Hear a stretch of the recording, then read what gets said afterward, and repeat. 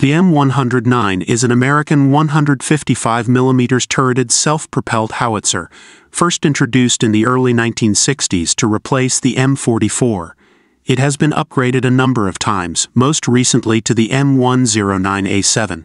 The M109 family is the most common Western indirect fire support weapon of maneuver brigades of armored and mechanized infantry divisions. The M109 has a crew of four the section chief commander, the driver, the gunner, and the ammunition handler loader. The chief or gunner aims the cannon left or right, deflection, and up and down quadrant. The British Army replaced its M109s with the AS-90. Several European armed forces have or are currently replacing older M109s with the German PzH 2000. Upgrades to the M109 were introduced by the US and by Switzerland, KAWEST. With the cancellation of the U.S. Crusader and non-line of sight cannon, the M109A6, Paladin, will likely remain the principal self-propelled howitzer for the U.S. until the new M1299 enters service.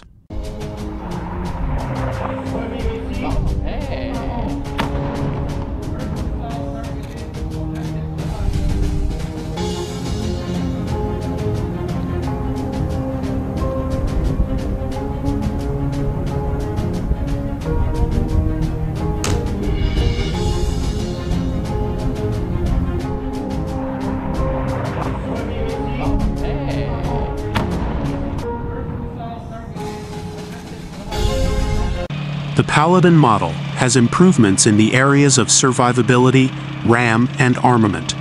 This includes increased armor, a redesigned internal arrangement for safer ammunition and equipment storage, engine and suspension upgrades, and improvement of the M284 cannon and M182A1 mount.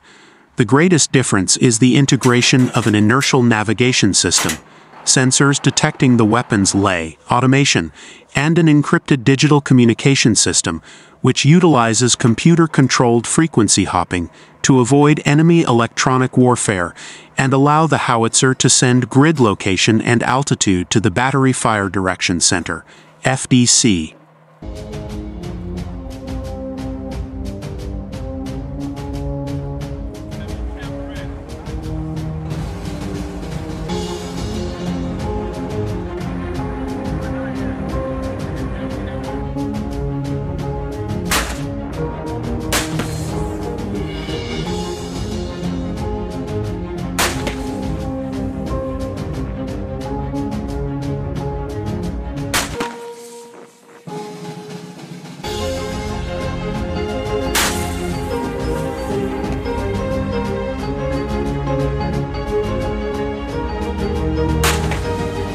The battery FDCs coordinates fire through a battalion or higher FDC.